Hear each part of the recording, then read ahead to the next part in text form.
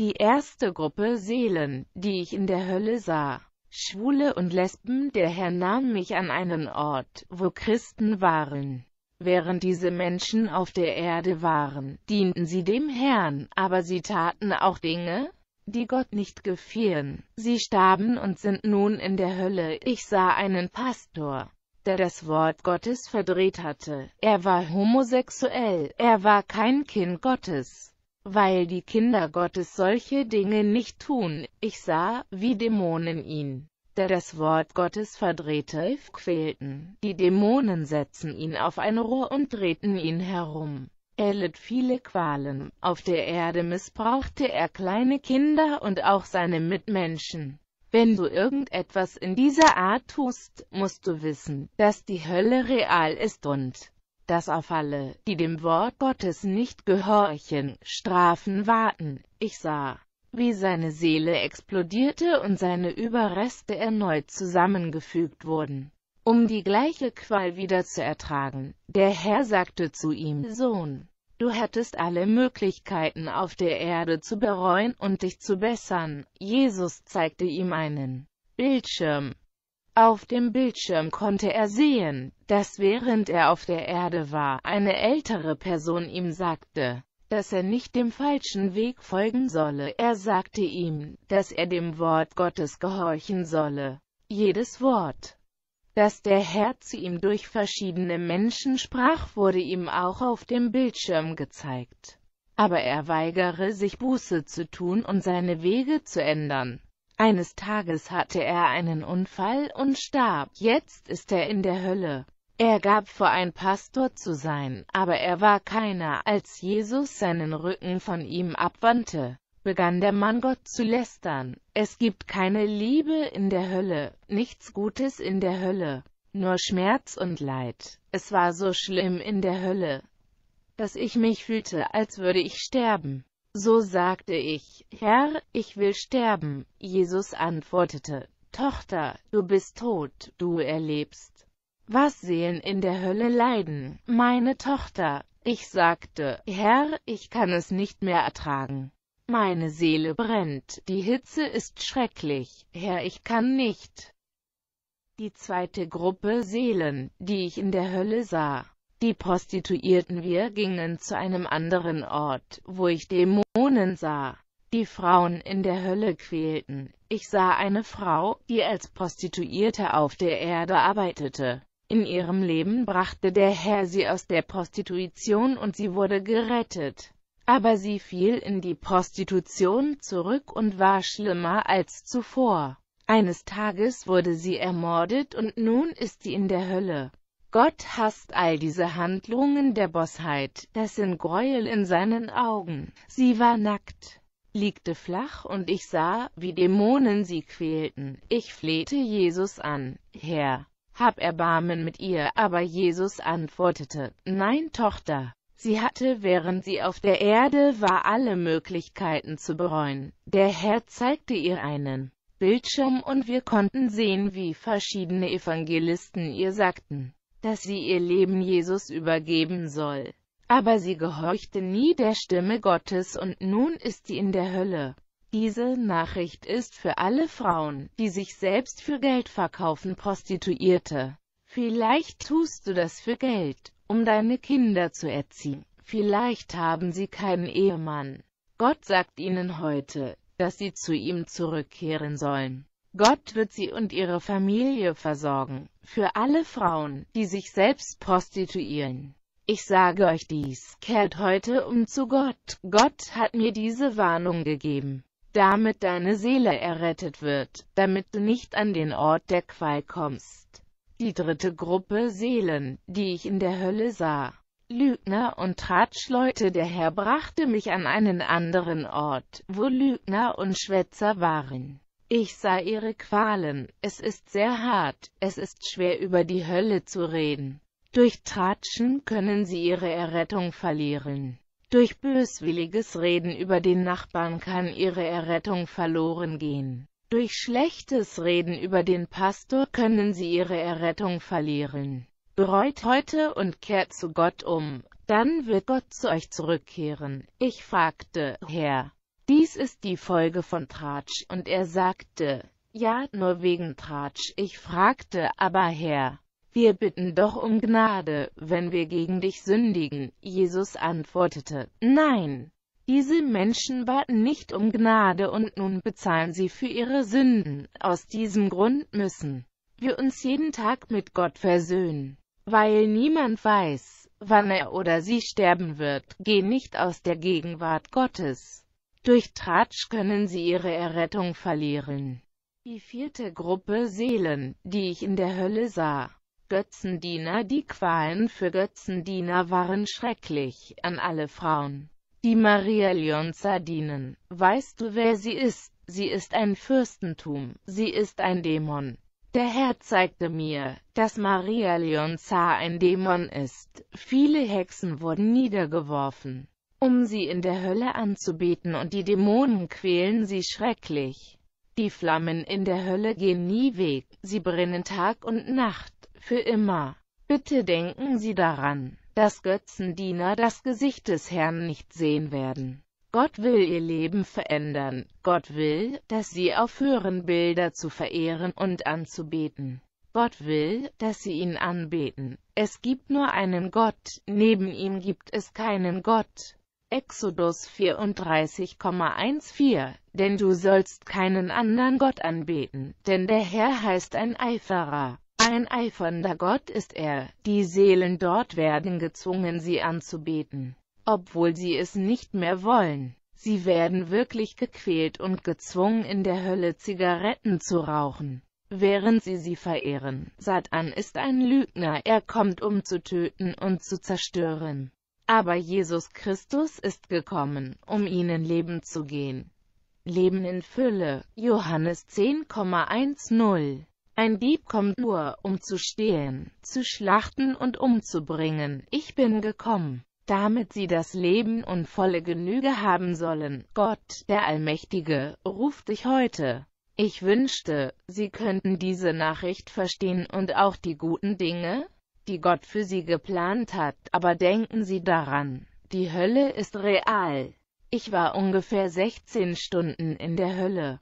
Damit ich voll und ganz die Botschaft verstehe und ich die Botschaft der Errettung jedem leidenschaftlich predigen kann. Ich sah Barbara und Shango in der Hölle, ihr, die ihr den Götzen Barbara anbetet und verehrt. Werft sie aus eurem Haus hinaus. Der Herr sagt, sie ist ein Fürstentum. Sie ist der Dämon hinter Prostitution. Barbara hat keine Liebe, sie ist voller Zerstörung. Es gibt viele Zuhäuser ohne Frieden. Barbara ist der Dämon hinter solchen Zuhäusern. Vielleicht haben Sie ein Bild von ihr in Ihrem Haus. Wie sehr würde ich mir wünschen, dass Sie diese Nachricht und den Plan, den Gott für Sie hat, verstehen würden. Ich fragte Jesus, hast du diesen Menschen eine Möglichkeit gegeben, ihre Wege zu ändern? Und Jesus antwortete, ja. Ich habe meine Heiligen zu ihnen gesandt. Ihnen wurde auf einem Bildschirm alle Möglichkeiten die sie auf der Erde hatten, gezeigt. Die Seelen in der Hölle haben dem Herrn keine Entschuldigung, Ausrede dazu bieten. Wenn sie nicht Buße tun und ihre Wege ändern, werden sie sehen, wie der Tod sie überrascht und sie schließlich in der Hölle enden.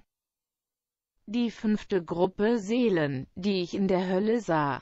Die Alkoholiker Der Herr nahm mich mit zu einem anderen Ort in der Hölle der wie ein großer Verein schien. Ich hörte, wie die Seelen um Gnade weinten und schrien. Ich fragte, was ist denn hier los? Jesus sagte, gib jedem, der Alkohol trinkt, diese Nachricht. Jedem, der Tag und Nacht Alkohol trinkt, zu allen, die Dinge in ihren Körper trinken, welche sie nicht erbauen, zu allen, die ihr Kindergeld dazu benutzen, alkoholische Getränke zu kaufen, gibt die Nachricht an alle Frauen, die Alkohol trinken, damit sie ihre Wege durch diese Botschaft ändern. Ich sah einen Tisch, der vor den verlorenen Seelen platziert war.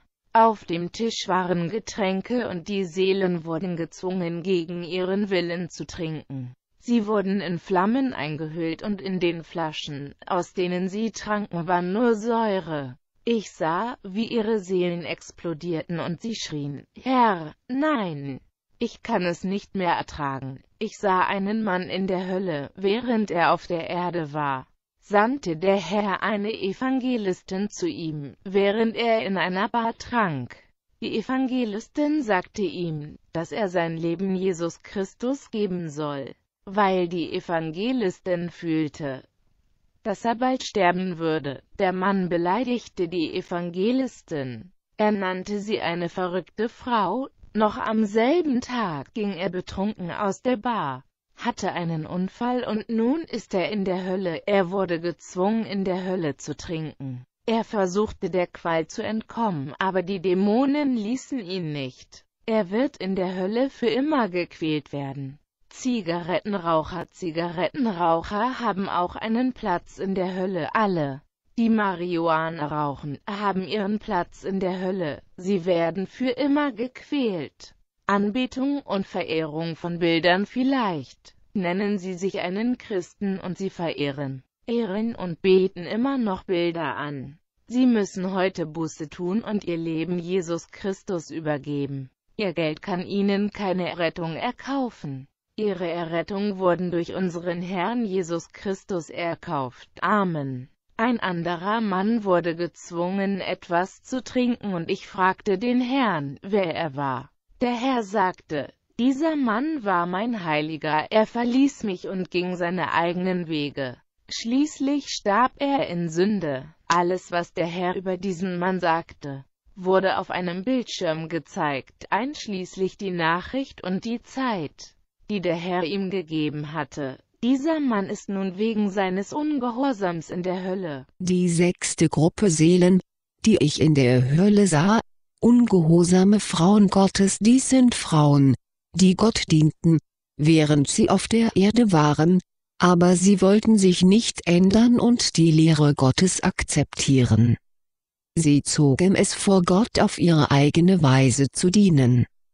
Diese Qualen waren schlimmer, als die, welche ich vorher sah. Ich hatte so Mitleid für diese Frauen Gottes in der Hölle, weil sie dem Herrn auf der Erde gedient hatten. Der Herr sagte, ich habe immer zu ihnen gesprochen. Ich habe versucht sie durch meine Heiligen zu korrigieren, aber sie wollten den Zweck nicht verstehen. Der Herr zeigte mir eine dieser Frauen. Sie saß auf einem Stuhl, welche voller Flammen des Feuers war. Plötzlich kam ein Dämon und guss eine Flüssigkeit auf ihren Kopf. Unser Herr Jesus Christus weinte, unser Herr weinte. Ich fragte, Herr, warum weinst du? Der Herr sagte, ich litt sehr viel für die Seelen, die in der Hölle sind. Sie war meine Heilige, ich korrigierte sie, dass sie nicht die Welt oder die Dinge in ihr lieben sollte. 1. Johannes 2,15 Habt nicht lieb die Welt noch was in der Welt ist. Wenn jemand die Welt lieb hat, in dem ist nicht die Liebe des Vaters. Der Herr korrigierte sie, dass sie aufhören sollte ihre Haare zu färben. Sie schämte sich wegen ihrer grauen Haare, die ich ihr gegeben hatte, sie wollte sich selbst in einer anderen Form präsentieren. Die Dämonen quälten diese Frau weiter. Sie schrie zum Herrn um Hilfe. Der Herr sagte ihr, dass es zu spät war und sie begann zu lästern. Wir können nicht in Vortäuschung leben. Eines Tages werden wir alle graue Haare haben. Als die Dämonen die Flüssigkeit auf ihren Kopf gossen, fiel ihr Hals seitwärts, ihre Haare fielen herunter und sie streckte ihre Hände hilfesuchend aus. Ich sagte, Herr, ich kann das nicht mehr ertragen. Ich versuchte mein Gesicht zu bedecken, weil ich meine Haare auch gefärbt hatte. Der Herr sagte, schäme dich nicht für das, was ich dir gegeben habe. Sie hatte sehr langes Haar und war eine sehr schöne Frau. Sie wollte schöner sein, als sie war und beging einen sehr schrecklichen Fehler. Wenn Gott uns graues Haar gegeben hat, müssen wir das akzeptieren, weil es von Gott ist. Ich sagte, Herr, ich wusste nicht, dass Haarefärben eine Sünde ist. Herr hilf ihr, hab Erbarmen mit ihr. Der Herr sandte einen Pastor zu dieser Frau, während sie noch auf der Erde war. Früher war sie eine Evangelistin, predigte und lehrte. Wie einige, die wenn sie predigen zuerst versuchen sich selbst der Gemeinde zu präsentieren, um von ihnen akzeptiert zu werden, wie sie sind, damit sie predigen und lehren können wie sie wollen. Sie wollte niemals Gottes Plan verstehen, sie starb schließlich und ist nun in der Hölle, eine Frau, die früher dem Herrn diente. Die Eitelkeit der Kosmetik. Der Herr sagte, Tochter, ich werde dir Frauen zeigen, die Make-up auf ihren Gesichtern tragen. Ich sagte, Herr, ich benutze auch Make-up. Ich verwende Puder für mein Geist, um schöner auszuschauen und zu verdecken. Der Herr sagte, diese Dinge gefallen mir nicht. Ich erfreue mich nur an dem natürlichen Aussehen meiner Heiligen. Eine Frau braucht nur mir und ihrem Ehemann zu gefallen, also braucht sie kein Make-up um für irgendjemanden schön auszusehen. Ich sah eine Frau, die einen Spiegel in ihren Händen hielt und Dämonen zwangen sie, ihr Gesicht anzumalen.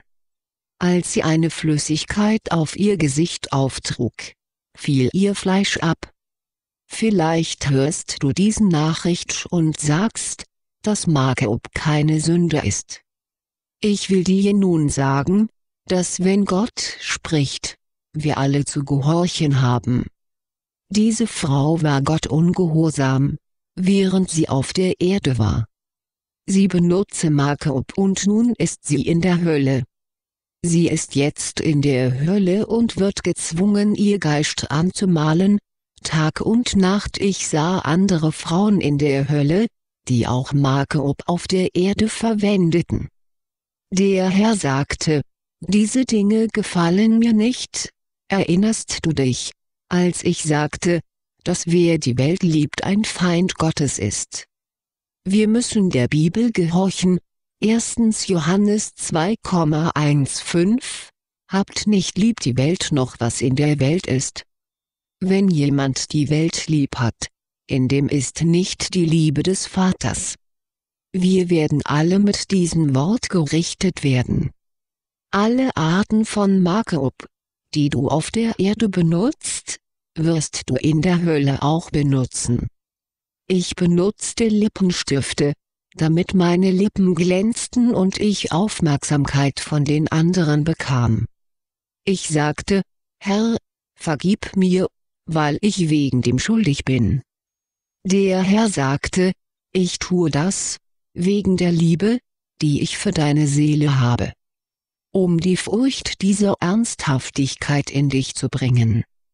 Damit du den Ernst dieser Folgen verstehst, damit du anderen erzählen kannst, dass sie aufhören sollen Make-up zu verwenden.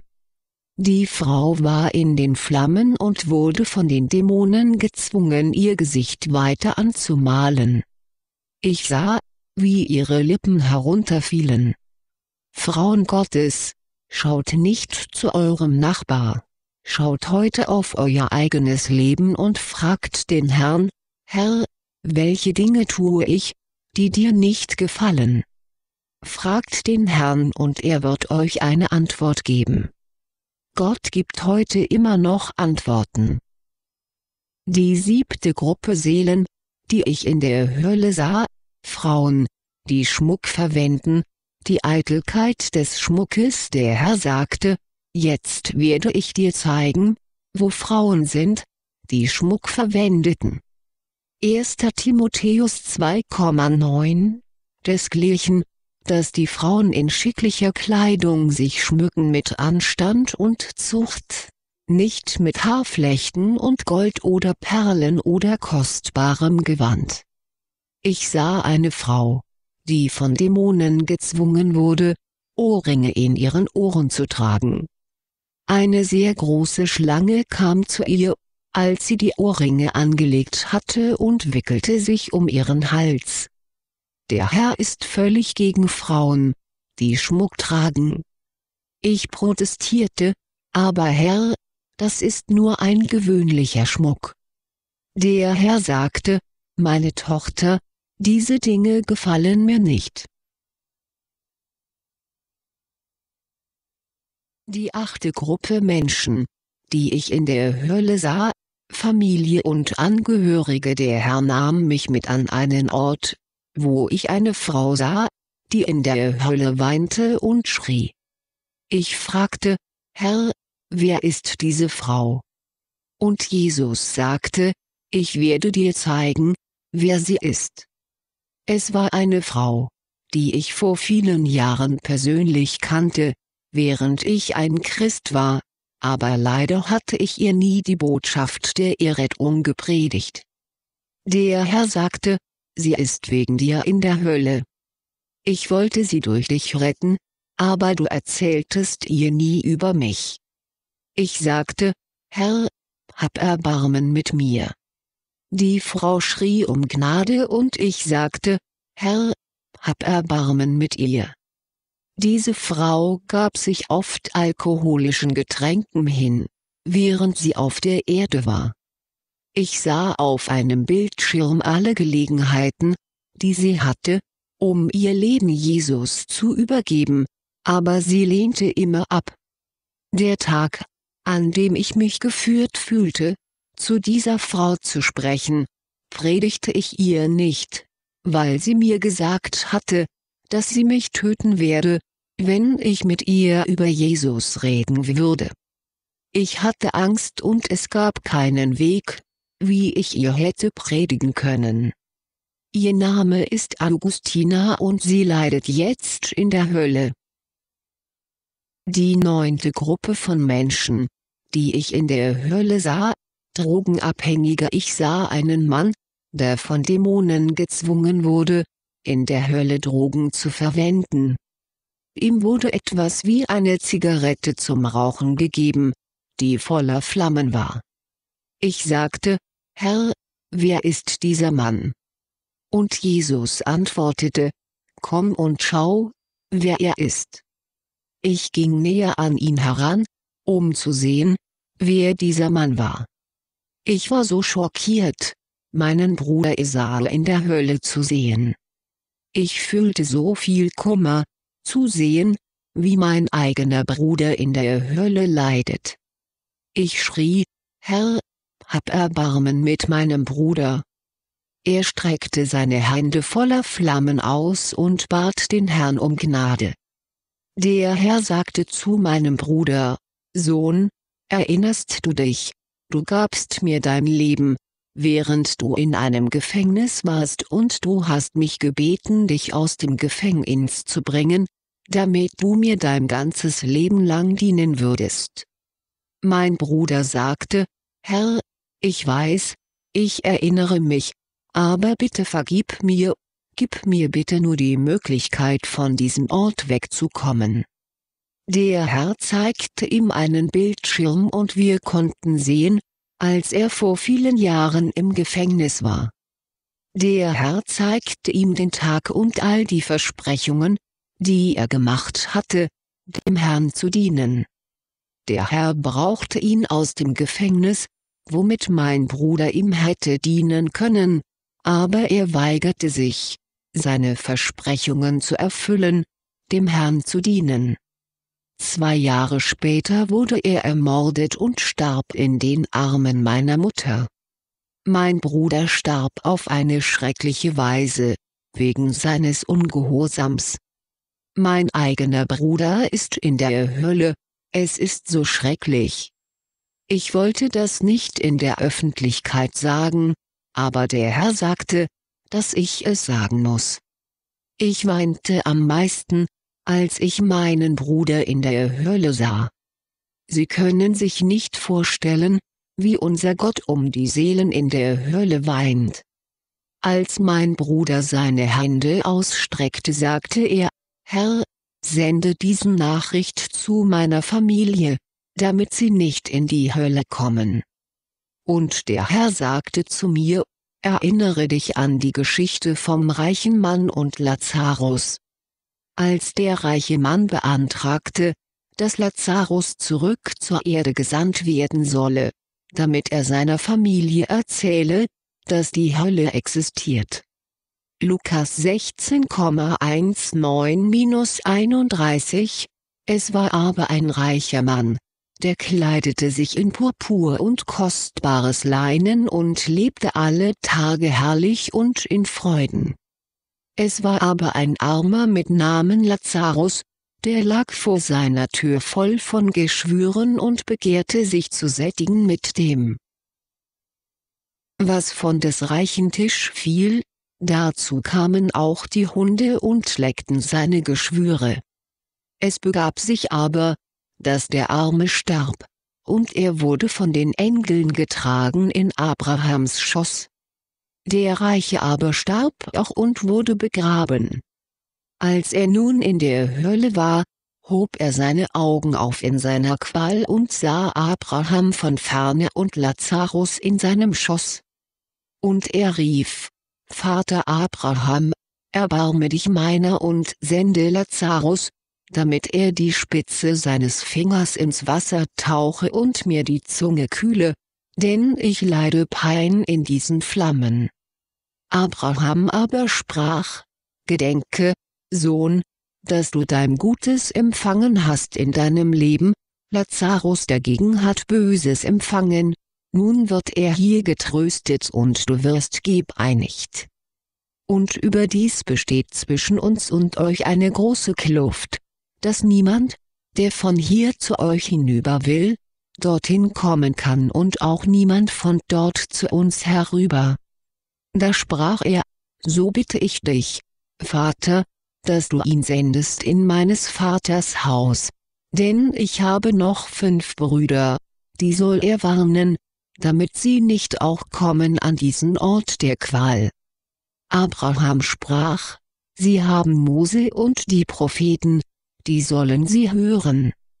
Er aber sprach, Nein, Vater Abraham, sondern wenn einer von den Toten zu ihnen ginge, so würden sie Buße tun. Er sprach zu ihm, Hören Sie Mose und die Propheten nicht, so werden sie sich auch nicht überzeugen lassen, wenn jemand von den Toten auferstünde. Dann zeigte mir der Herr eine Frau, die einmal eine Pastorin war. Sie saß auf einem Stuhl voller Flammen. Eine Perücke aus künstlichem Haar wurde ihr in der Hölle auf den Kopf gesetzt. Der Herr sagte, vor einiger Zeit war sie meine Heilige, sie war eine Pastorin, sie war eine großartige Frau Gottes, ich hatte sie mächtig gebracht, aber sie gehorchte nicht meinem Wort. Ich sagte, Herr, erbarme dich über sie. Sie streckte ihre Hände hilfesuchend nach dem Herrn aus. Ich weiß, dass die Geschichte dieser Frau, manchen Menschen große Angst bereiten wird. Sie war eine Frau, die Gott diente, sie dachte, sie hätte alles, sie zweigte von der Lehre Gottes ab und ersetzte den Herrn durch die Dinge dieser Welt. Sie tat Dinge, die Gott nicht gefielen und sagte immer eitle Worte. Der Herr zeigte auf einem Bildschirm alles, was sie tat, während sie auf der Erde war. Der Herr fragte sie, Tochter, kannst du dich erinnern, als ich dir mein Wort durch meine heilige Elma brachte? Meine Schwester Elma sprach einmal mit dieser Frau, aber diese Frau beleidigte meine Schwester und weigerte sich dem Herrn zu gehorchen. Jesus sagte, das war deine Gelegenheit, deine Wege zu ändern und zurück zu mir zu kehren, aber du weigertest dich und das ist deine Strafe. Kannst du dich erinnern, als deine Tochter dich umarmte und zu dir sagte Accent aigu Mama, komm zurück Accent aigu, du aber nie hörtest? Der Herr wandte ihr seinen Rücken zu und die Frau begann zu lästern. Unser Herr Jesus Christus drehte ihr seinen Rücken zu und er weinte bitterlich. Ich fragte, Herr, warum weinst du? Und Jesus antwortete, Du kannst dir nicht vorstellen, wie ich mich fühle, all diese Seelen hier zu sehen. Der Thron Satans in der Hölle Jesus sagte, ich werde dir etwas zeigen meine Tochter. Ich habe dies niemanden zuvor gezeigt. Ich will, dass du das siehst, damit du verstehen kannst, dass Satan ein Lügner ist. Satan ist ein Nachahmer. Ich sagte, Herr bitte bring mich von diesem Ort heraus, ich kann es nicht mehr ertragen. Der Herr zeigte mir den Thron Satans in der Hölle. Der Satan imitiert Gott, den Allmächtigen in der Hölle. Ich sah ihn auf seinem Thron sitzen. Satan ist sehr schrecklich, er gibt vor, Gottes Autorität zu haben. Ich konnte Engel um ihn herum sehen, aber sie waren alle nur Dämonen. Er trug ein weißes sehr schmutziges Gewand, voller Flecken. Ich sah 24 Älteste, die den Satan in der Hölle verehrten, sie ließen ihre Kronen fallen und huldigten ihm. Ich konnte sehen, dass sie alle nur Dämonen waren. Der Thron Satan Accent aigus ist voller Nachahmung, der Dinge im Himmel. Alles sah so schrecklich aus. Ich sah Satan, wie er einen seiner Dämonen rief und ihn bat, eine bestimmte Person in die Hölle zu bringen. Die Dämonen taten alles, was ihnen gesagt wurde. Satan sendet immer seine Diener auf die Erde für Zerstörung.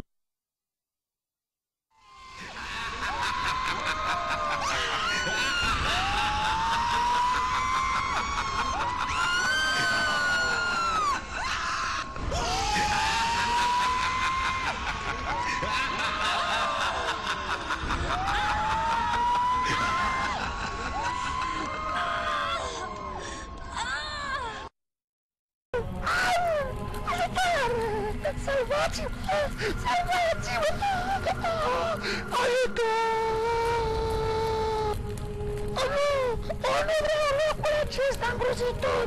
Nu vreau, nu!